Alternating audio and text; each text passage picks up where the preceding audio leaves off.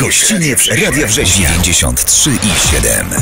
Karol Krzeszowiec przed mikrofonem, a moim i Państwa gościem dzisiaj jest dyrektorka Biblioteki w Jarocinie, Agnieszka Borkiewicz. Dzień dobry Pani Agnieszko. Dzień dobry. Zajęliście kolejne bardzo wysokie miejsce w rankingu bibliotek, który jest tworzony przez Instytut Książki i Rzeczpospolitą. W tym roku y, zajęliście 11 miejsce w Polsce, tak? I drugie, tak, w, zgadza się. I, I drugie w Wielkopolsce.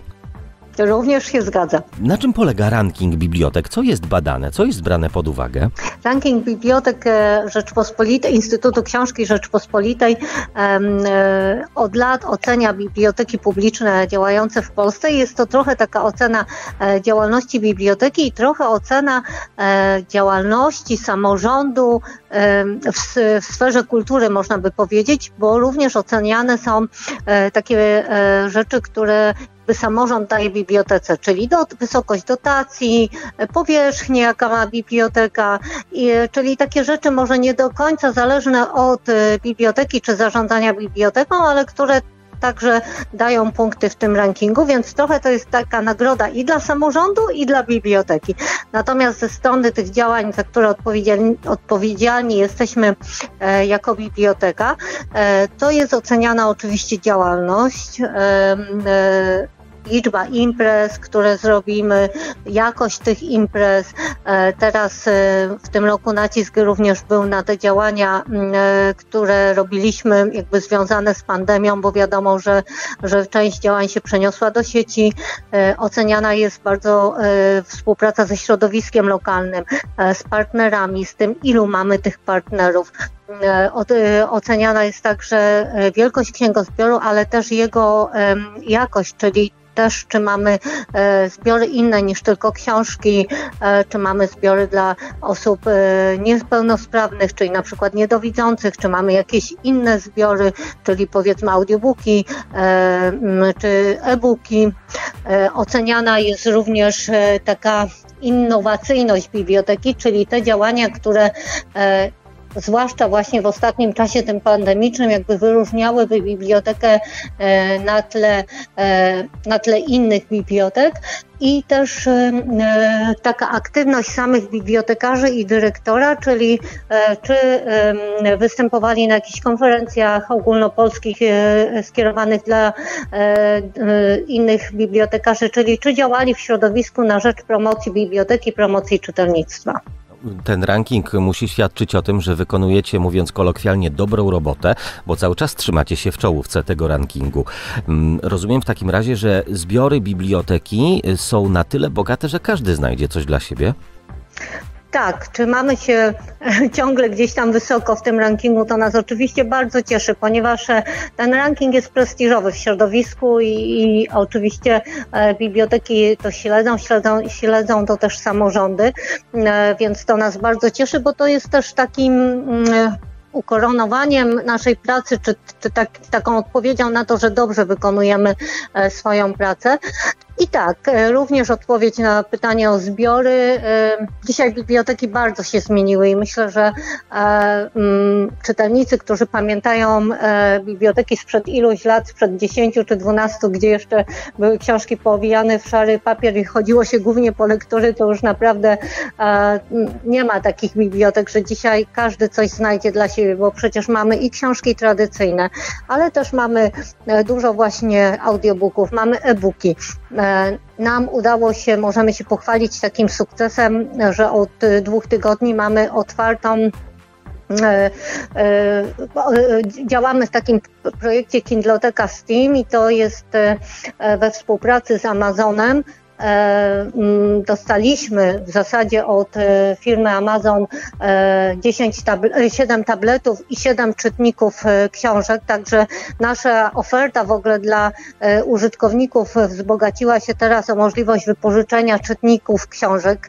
Można wypożyczyć te czytniki razem z książkami, które są w naszej ofercie, ale można też po prostu wypożyczyć sobie jakby samo urządzenie i samemu grać na nie książki, które, które się samemu zakupi, czy które się ma od znajomych, wypożyczone od znajomych. Także cieszymy się z tego, bo to jest zupełnie nowa oferta naszej biblioteki i taka, której do tej pory nie było. A wiemy też, że rośnie liczba osób, które doceniają czytniki i e, też widzą wygodę korzystania z czytnika w podróży, czy e, właśnie dojeżdżających do pracy, także bardzo nas to cieszy, że jest taka forma. Mamy też planszówki. E, zapraszamy teraz, zwłaszcza mamy czas przedświąteczny, można e, przyjść, wypożyczyć sobie planszówki, żeby ten czas świąteczny spędzić właśnie może nie przed telewizorem, tylko grając w gry planszowe, które zresztą ostatnio się robią też coraz modniejsze, więc to jest też taka odpowiedź nasza na zapotrzebowanie zapotrzebowanie naszych użytkowników. Także naprawdę dzisiaj myślę, że każdy może w bibliotece znaleźć, e, jeżeli chodzi o zbiory, e, to, czego potrzebuje, już nie mówiąc o całej tej działalności jakby takiej e, uzupełniającej, czyli wszystkie warsztaty, spotkania autorskie, koncerty. Przecież mnóstwo się tego dzieje i mnóstwo różnych rzeczy biblioteki dzisiaj organizują. Z Pani słów wynika, że dzisiaj bibliotekarz musi być takim omnibusem, bo to już nie tylko książki, ale za Pan brat z nowoczesną technologią. Ja sam doceniam, doceniam czytnik, bo jednak w czytniku e-booków można wozić kilkadziesiąt tomów i waży to kilkaset gramów. Można wrócić do każdej książki w każdej chwili i jest to bardzo wygodne. Mm, a jak zmienia się nasze korzystanie z biblioteki, czytelnictwo. Y, co chwilę słychać y, o różnych rankingach czytelnictwa, czy może badaniach czytelnictwa w naszym kraju. No i wynika z nich taki obraz, że jednak czytamy coraz mniej. Tak, czytamy coraz mniej i to jest bardzo smutne badanie, bo no niestety e, jesteśmy społeczeństwem obrazkowym i, i dużo czasu skradną nam, też, myślę, e, media społecznościowe czy w ogóle internet. Natomiast e, biblioteki dzisiaj są takimi małymi centrami kultury i tak jak przez te mogę ocenić te ostatnie powiedzmy 10 lat, to ta biblioteka się naprawdę niesamowicie zmieniła. Kiedyś można by powiedzieć, że 90% naszej działalności to było wypożyczanie książek, udostępnianie zbiorów. Dzisiaj powiedziałabym, że to jest może pół na pół, a może nawet z przewagą na te działania, które robimy, takie właśnie e, e, bardziej może jak dom kultury, chociaż raczej biblioteki zawsze dbają o to, żeby one były z książką w tle, ale kursy komputerowe. E, dzisiaj u nas w Jarocinie było to bardzo ważne, na przykład w czasie pandemii, kiedy przychodziło do nas mnóstwo starszych osób, chociaż nie tylko starszych, które uczyły się u nas, jak zakładać pocztę e, elektroniczną, jak korzystać z komunikatorów z dziećmi, które były na drugim końcu Polski, już nie mówię, że na świecie, ale nawet Polski nie mogły do domu przyjechać, e, jak korzystać z konta e-pacjenta. Pomagaliśmy też przy spisie powszechnym, także biblioteka jest takim miejscem, w ogóle myślę, że biblioteka jest trochę takim miejscem, do którego nie wstyd jest się przyznać, że czegoś się nie wie. Więc łatwiej jest do nas przyjść po tą pomoc, taką po naukę, bo e, Wiadomo, że biblioteka raczej się kojarzy dobrze i tutaj nikt nikogo nie ocenia, więc łatwiej się przyznać, że się czegoś nie wie. Ale oprócz takich kursów komputerowych, to też takie kursy rękodzielnicze. Dopiero co pokończyły się w różnych naszych filiach bibliotecznych e, kursy robienia stroików e, świątecznych dużo działań e, też takich skierowanych na książkę, czyli mamy kluby dyskusyjne, gdzie czyta się, e, ilość osób czyta tą samą książkę, później się spotyka i omawia tą książkę, rozmawia o niej po prostu. E, mamy też takie kluby, my nazywamy je trochę klubami przyjaciół biblioteki, ale na przykład w jednej z naszych chwili jest to klub, który działa e, bardzo mocno na rzecz e, pielęgnowania historii e, miejscowości, czyli takiej tej historii tych swoich korzeni. W kolejnej chwili mamy klub, który bardzo jest nastawiony na działanie promujące powstanie wielkopolskie, więc dużo właśnie takich takich różnych działań i takich jakby biblioteka jest takim, zwłaszcza w tych mniejszych miejscowościach, takim centrum skupiającym mieszkańców, e, gdzie mogłam przyjść, porozmawiać, pobyć, po prostu się spotkać. Nie wspominam już tu o, o tradycyjnych formach, czyli spotkaniach autorskich e, czy koncertach, no bo to działo się zawsze, to dzieje się też e, teraz. A jakie macie plany na nowy 2022 rok? Oczywiście, co może Pani zdradzić z jakichś takich nie, nie, niespodzianek?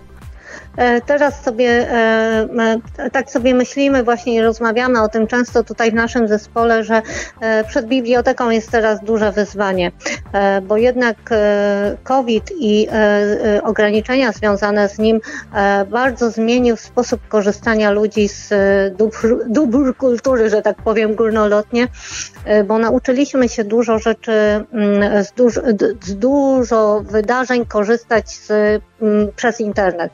Czyli nawet e, jeżeli my teraz robimy spotkania autorskie, to często one są od razu streamingowane, żeby ludzie mogli też korzystać z nich w domu, e, bo na przykład boją się przychodzić do biblioteki.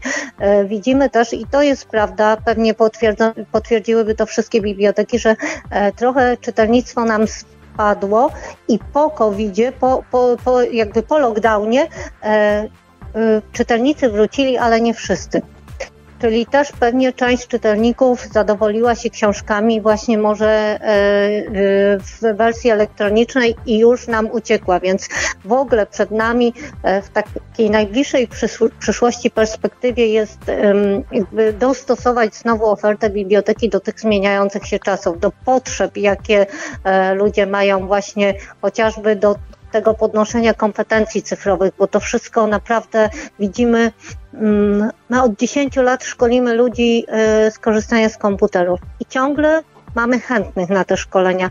I to pokazuje właśnie, jak potrzebna jest taka instytucja jak biblioteka, która też jakby działa w tym kawałku edukacji dla dorosłych, e, kursy językowe. No mnóstwo mamy takich e, takich działań właśnie, które też pomagają jakby się znaleźć w tej zmieniającej się rzeczywistości. A oprócz tego oczywiście te działania, które zawsze nam przyświecają, czyli związane z książką, czyli spotkania autorskie, różne e, projekty, które będą skierowane dla dzieci i dla dorosłych. E, złożyliśmy e, pięć e, projektów e, do ministerstwa. Czekamy na rozstrzygnięcie. Mamy nadzieję, że na początku lutego e, będą rozstrzygnięte, bo wiadomo też, że poszukujemy tych środków zewnętrznych. Będzie tam dużo działań takich promujących właśnie książkę i czytelnictwo.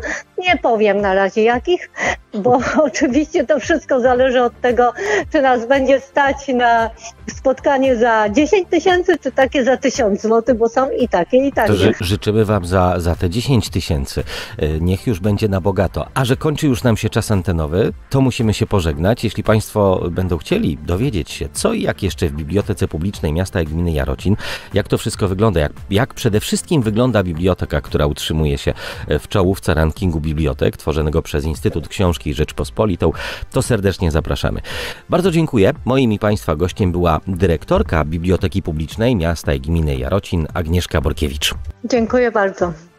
Gościnie w Radio Września 93 i 7. 93 i 7. Radio Września. Najlepsze polokalne.